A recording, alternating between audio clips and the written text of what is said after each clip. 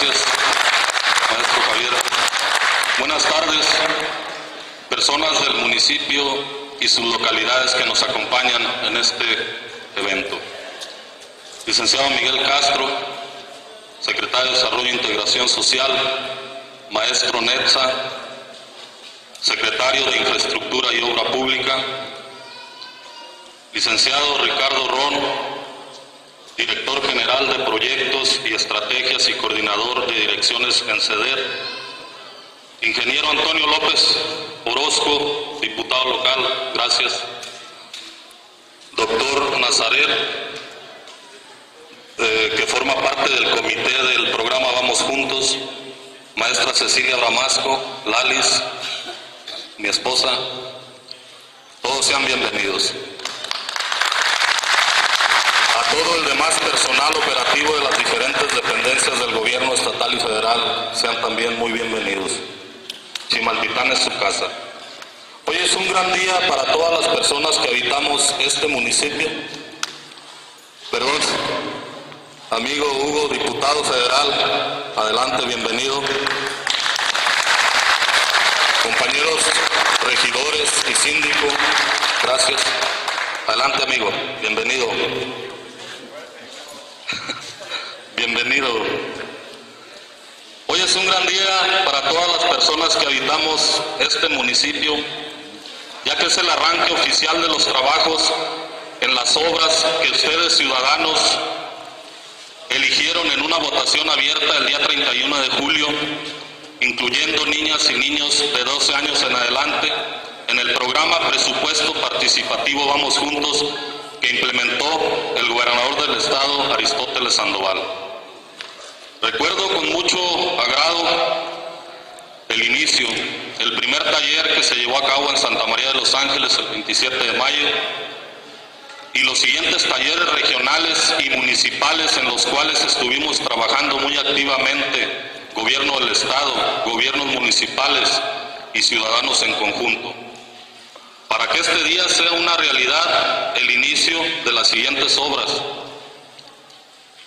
Construcción o rehabilitación de redes de agua potable en Tepizuac, San Juan, La Gualdria, El Carretón, El Pueblito, Tapiales, El Duraznito, Rancho de Arriba y Cabecera Municipal, así como la construcción de cuatro domos, uno en la primaria de la cabecera uno en primaria de Cocuasco, uno en telesecundaria de San Juan y uno más en la primaria de Tepizuac. Como la construcción también de la unidad deportiva en Tepizuac y por supuesto la conclusión de este auditorio municipal. Con una inversión aproximada, ya lo dijo el maestro Javier y lo veníamos corroborando con el maestro Netza, de alrededor de 13 millones 400 mil pesos distribuidos en las diferentes localidades del municipio, esto con la finalidad de que haya un desarrollo municipal equitativo y equilibrado. Quiero reconocer el gran trabajo del gobierno del Estado, representado por ustedes, amigos, en relación a su política pública, que sin importar colores, partidos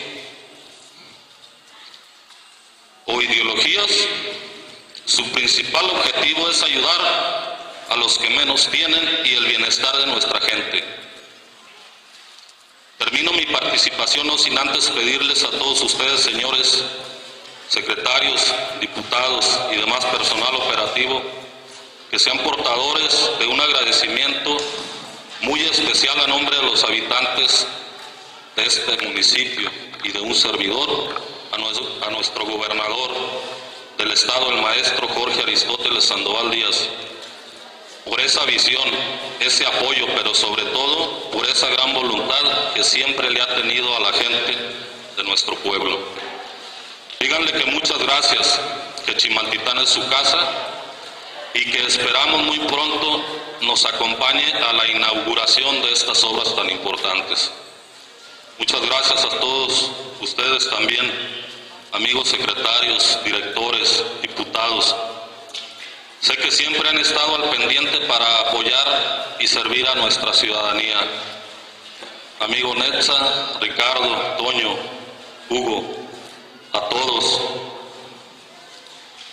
que en las ocasiones que los he procurado en sus oficinas, en CEDIS, en obras públicas, en, desarrollo rural, en el Congreso del Estado y en el Congreso de la Unión, siempre me reciben con las puertas abiertas y dispuestos a buscar y a dar solución a las demandas y problemas de nuestros ciudadanos de Chimaltitán.